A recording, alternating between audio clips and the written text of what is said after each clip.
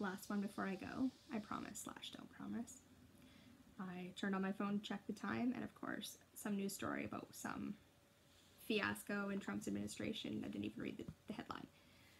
I need that. I need an app to follow what the F is going on in politics in that in that country because it is confusing and, and distracting and I need to know what decisions he's actually making, what lies he's actually told, if he's told any truths that could be important too. But um, more so than even just the political IMBD, I need a Trump specific what the fuck is going on app. That would be that would be great.